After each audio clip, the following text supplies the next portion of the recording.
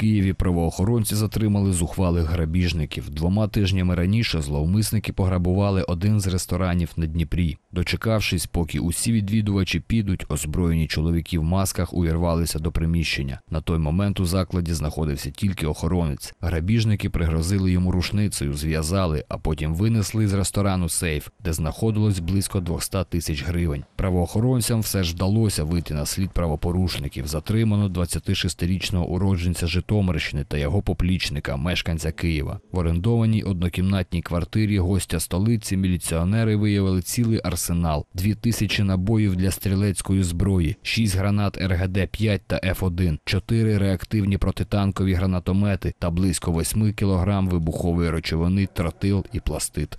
Під час обшуку знайдений сейф, знайдені кошти. Два злочинці заарештовані, проводяться слідчі дії.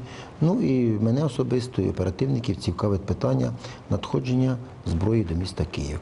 Затриманим закидають одразу дві статті: розбій та незаконне поводження зі зброєю. Звичайно, головного міліціонера столиці бентежить така знахідка зброї та вибухівки. Саме Олександр Терещук декілька місяців тому говорив про різкий сплеск тяжких злочинів у Києві із застосуванням вогнепальної зброї, чого варте лише озброєне пограбування АЗС, яке закінчилося вбивствами міліціонерів. Також можна згадати розстріл Олеся Бузини посеред білого дня та Олега Калашнікова біля дверей власної квартири. Правоохоронці працюють у посиленому режимі, звітують про затримання, шукають злочинців. І дійсно, їм вдається якусь партію зброї вилучити. Проте масштаби знайденого вогнепалу та пластиду вражають. Страшно навіть уявити, скільки зброї та вибухівки ще не вдалося вилучити.